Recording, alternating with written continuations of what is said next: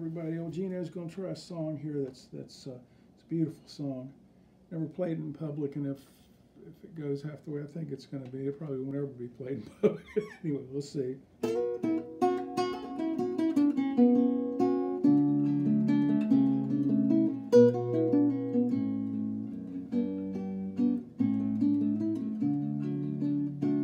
I knew a man Bojangles and he danced for you worn out shoes, silver hair and ragged shirt and baggy pants. He'd do the old soft shoe. He would jump so high, jump so high, and then he lightly touched down. Well, I met him in a cell in Nolens. I was down, down and out. I was all the way out. He looked at me to be the eyes of Edge as he spoke right out. He didn't mind speaking out.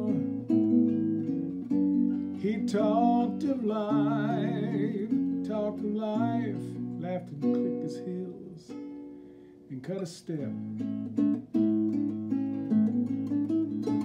He said his name Bojangles and he danced a lick across the cell. He grabbed his pants for a better stance and then jumped so high. And then he clicked his heels. And then he let go a laugh, let go a laugh. Pushed his clothes back all around.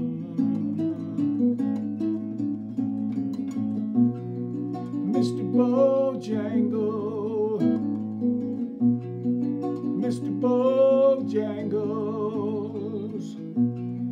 Mr. Bojangle, go on and dance.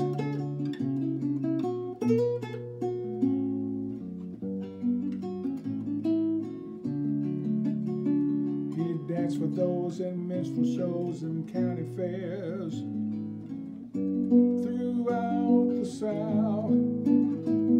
He spoke tears of 50 years how his dog and him would travel about. The dog up and died, up and died after 20 years. Lordy Lord, he still grieves. He said, I dance now at every chance at honky tonks for drinks and tips. But most of the time I spend my time behind these county bars. Cause I drink so big. Well, he shook his head, shook his head. I heard someone ask him, please, please, Mr. Bojangle, Mr. Bojangles, Mr. Bojangle,